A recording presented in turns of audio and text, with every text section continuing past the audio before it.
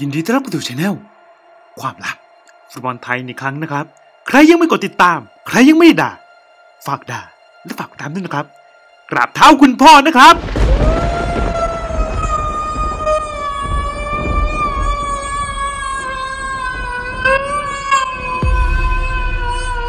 ผมครับ กลับมาฟิตทำคลิปอีกครั้งหนึ่งแล้วครับ วันนี้ครับ มีเรื่องเล่าป .4 ให้พ่อ ได้ฮากันด้วยแหละครับ ช่วงท้ายคลิปครับ เป็นช่วงที่ผม ยังเป็นตูสแบบแอบอยู่ครับ สมัยนี้ไม่แอบแล้วครับ เรียกว่าเป็นตุ้นร้อยเปอร์เซ็นครับ วันนี้มีสองเรื่องครับพ่อครับ ผมยังวนเวียนอยู่กับสื่อของเวียดนามตลอดนะครับ ช่วงนี้ครับ เพราะว่าอะไรนะครับ เพราะว่าข่าวของชนาทิพย์ไม่ค่อยมีไงล่ะครับ ผมเลยไปก่อเกี่ยวกับเวียดนามครับแหมเรียกว่า ว่ากันไม่ได้ครับ เรื่องของการทำอาหารกินครับ มือนกับการขายขนมไทยแล้วขายไม่ดีครับ แล้วเปลี่ยนมาขายเฟรนฟรายครับ จะมาว่าว่าคุณไม่รักประเทศไทยเลยหรือ ถ้าคุณรักประเทศไทยนะ คุณต้องขายขนมไทยต่อไปอืมึงไม่ดูบ้างเลยว่ากูขายไม่ได้สักชิ้นหนึ่งมึงรับผิดชอบไหมล่ะ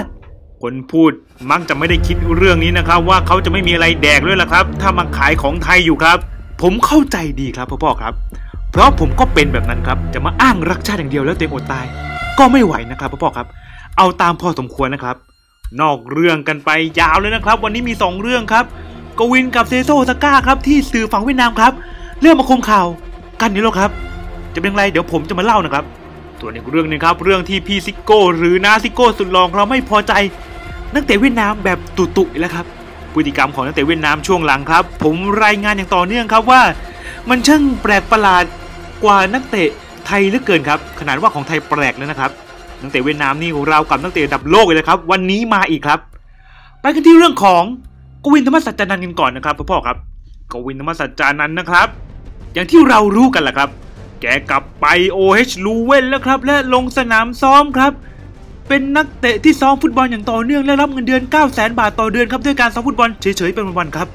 แต่ก็ยังมีได้ลงอุ่นเครื่องบ้างนะครับ ล่าสุดครับทีม OH ลูเว่นลงสนามแพ้ทีมคลับบูธจาฟูงไปแบบขาดลอยครับ3-0ครับพ่อครับ โรโม่ผู้ประสาประตูมือหนึ่งโดนไป 3 ลูกครับ แต่ถ้าดูสถิตินะครับพ่อครับกวินอาจจะยิ้มไม่ออกนะครับ เพราะทีมนู้นมีโอกาสยิงเกือบ 30 ครั้งนะครับแล้วยิงเข้ากรอบไป 10 ครั้งครับ โรโม่เซฟได้ถึง 7 ครั้งนะครับ ในแมตช์เดียวนะครับที่ยิงเข้ากรอบนะครับ ปล่อยเข้าประตูเพียงแค่ 3 ลูกครับ เรียกว่ากองหลังโอเฮสลูเว่นโคตรกากเลยครับ ประเด็นนี้นะครับพ่อพ่อครับมันไม่ใช่ประเด็นที่ผมสนใจหรอกครับว่าเขาโดนยิงเท่าไหร่ครับ แต่ประเด็นมันอยู่ที่ครับกวินธรรมสัจจานันนักเตะที่ซ้อมบอลมาอย่างยาวนานครับ ลงสนามเป็นตัวสำรองอีกแล้วครับ แต่คำว่าอีกแล้วครับ มันมีเงื่อนไขอย่างนี้ครับพ่อครับหลังจากคลิปที่แล้ว ผมบอกว่าเขามีโอกาสลงตัวจริงในช่วงกลางปีเนี่ยครับดูแล้วมันมีอะไรเปลี่ยนแปลงอีกแล้วแหละครับโอ้โหทุกวันเลยแหละครับ ก็เพราะว่าครับแมตช์ที่แพ้คลับบูธ3-0เนี่ยครับโอ้ยรู้เองครับ ไม่รู้นึกอะไรครับพ่อๆครับ เขาส่งผู้รักษาประตูมือ3ครับ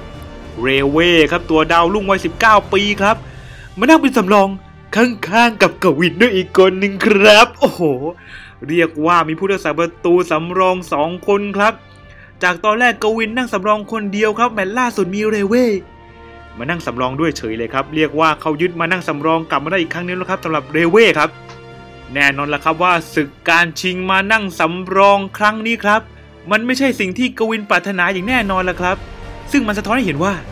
กวินอาจจะหลุดไปเป็นมือสามอีกครั้งหนึ่งอีกอีกอีกอีกอีกอีกแล้วล่ะครับพ่อครับ แล้วไปกันที่ข่าวของเวียดนามครับ เวียดนามก็มีการพูดถึงการยืมตัวกวินครับ ไปเซเลโซโอซาก้านะครับ ไม่รู้มันโม้หรือมันลือเฉยๆนะครับ เขาบอกครับว่า ยันมากครับบริษัทแม่ของทีมเซเลโซโอซาก้านี่แหละครับ หลังจากที่พยายามดึงตัวครับ ทั้งคองเฟืองกวงไฮครับ แต่ไม่มีใครมาครับ เพราะว่าในหน้าเขาครับ ต้องการเงินในการยืมตัวมากกว่าที่ ยันมาอยากจะจ่ายนั่นเองครับ และยันมาก็ต้องการสร้างกระแสฟุตบอลในสโมสรของตัวเองครับ ให้คนทางฝั่งอาเซียนนี่แหละครับ ได้รับรู้ถึงแบรนด์ของยันมาเหมือนเดิมแหละครับ อย่างที่ผมเกริ่นไปแล้วครับ ยันมานั้นครับเป็นพันธมิตรกับสมาคมฟุตบอลเวียดนามครับทีมชาตินะครับ แล้วก็มีสโมสรของตัวเองในเวียดนามด้วยครับทีมหนึ่งครับ และในไทยก็สนับสนุน BG อย่างเป็นทางการนะครับ เรียกว่าเงินโคตรเยอะเลยครับสนับสนุนข้ามประเทศ และมีอีกหลายทีมมากมายครับ ไปดูในเว็บยันมาร์ได้นะครับเขาประกาศจุดยิงเขาไว้ชัดเจนครับ และข่าวลือเกี่ยวกับการดึงกวิน ไปร่วมซ้อมกับดังวานลำเพื่อทดสอบกันว่าใครเจ๋งจริงในเวทีเจลีกครับเป็นโปรเจกต์ที่แฟนบอลเวียดนามพูดถึงกันครับว่า โปรเจกต์นี้ถูกสร้างขึ้นเพื่อดึงกองเชียร์ไทยและกองเชียร์เวียดนามครับ ให้เข้ามาเชียร์เซเรโซโอซาก้าแบบล้นหลามครับแบบมีโปรเจกต์การต่อสู้กันแบบสนุกสนานครับงานนี้ครับ ไม่รู้ว่าจะเป็นโปรเจกต์แย่งมือหนึ่งหรือว่าจะเป็นโปรเจกต์แย่งมานั่งสำรองกันแน่นะครับ ถ้ามันเป็นจริงนะครับ ผมเลยงงๆแฟนบอลเวียดนามครับ แต่ก็ไม่แน่ครับข่าวที่ผมพูดช่วงหลัง ถูกตีข่าวในเวียดนามจริง ๆ หลายครั้งครับ ทั้งข่าวโค้ชปาร์กอาจจะไปคุมเวียดนาม แล้วก็ซิโก้คุมฮองอันห์ยาลาย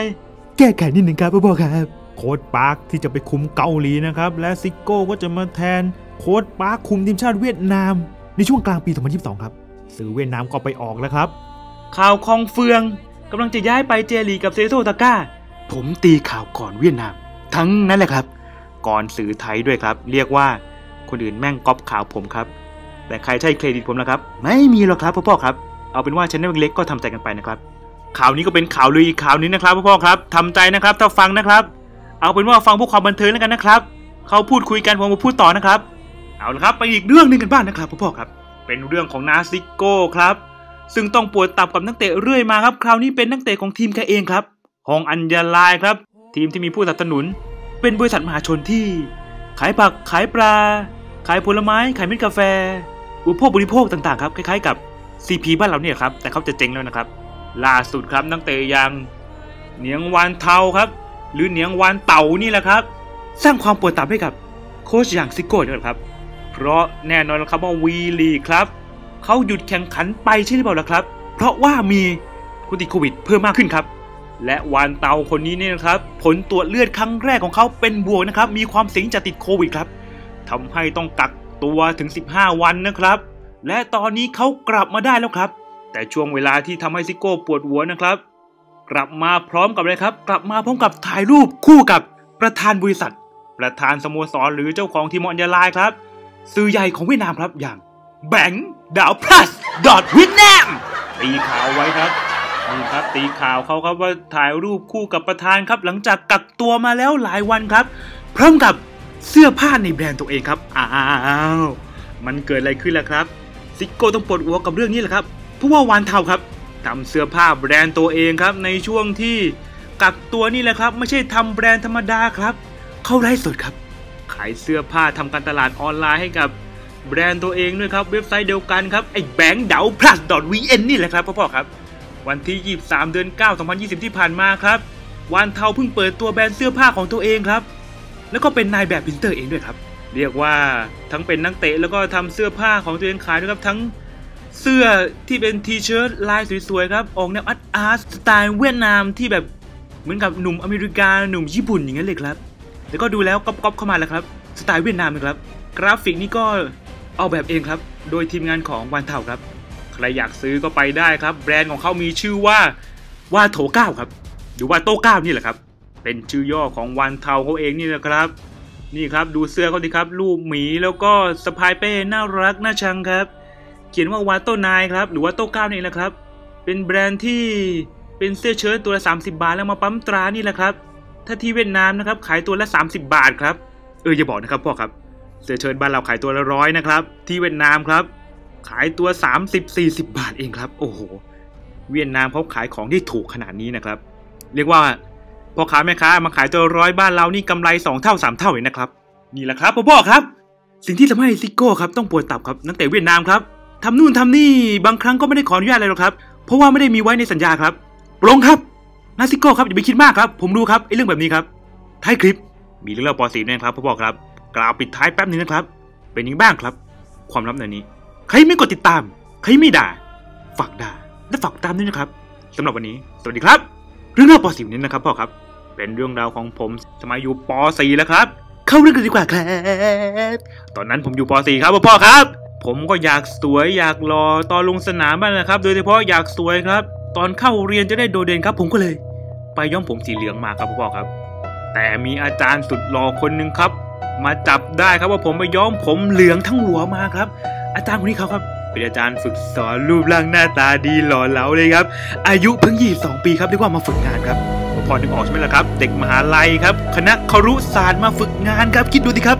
เด็กป .4 เป็นกระเทยครับ เจออาจารย์วัยสรุ่นแบบนั้นจะเกิดอะไรขึ้นครับ แกบอกว่า เธอย้อมผมมาใช่ไหม ผมคิดไอเดียเดียวเลยครับ ผมเลยตอบว่า ผมไม่ได้ย้อมครับ แน่นอนครับ แกไม่เชื่อครับ ผมเลยบอกงี้ครับพ่อบอกครับ ถ้าครูไม่เชื่อว่าผมไม่ได้ย้อมผม ผมของผมเป็นสีเหลืองจริงครับคุณครู ถ้าไม่เชื่อ ไปตรวจผมล่างในห้องน้ำกับผมก็ได้นะครับพ่อพ่อ